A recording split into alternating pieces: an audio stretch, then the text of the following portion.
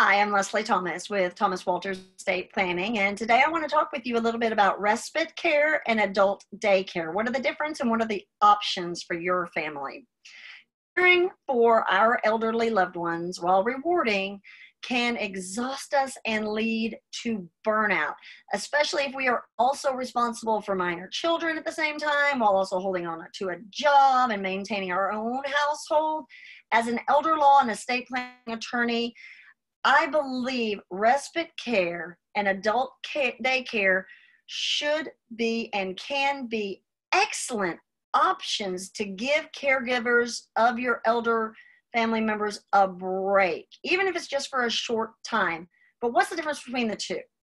Family members, trusted friends, professional caregivers, they can all provide respite care and a needed change of pace both for the caregiver and the elderly family member.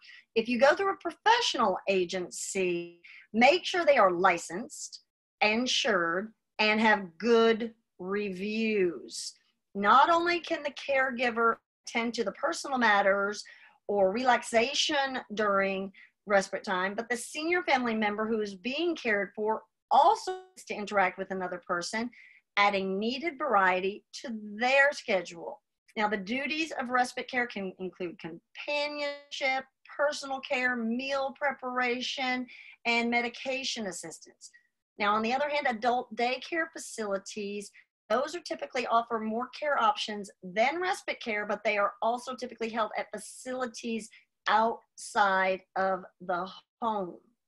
Staff typically will provide meals, They'll provide some personal care, medication assistance, but they'll offer little to no medical services beyond that. Once again, I recommend that you research facilities thoroughly to make sure that they have a good reputation and that they are a good fit for your loved one. The right adult daycare can be a great place for your loved one to socialize and participate in group activities talk to your elder law or estate planning attorney about financial assistance programs as adult daycare can get pricey. Do you have any more questions or concerns that you'd like to talk to me about regarding respite care or adult daycare facilities? Feel free to give us a call and set up your consultation. We're always here to help. Take care.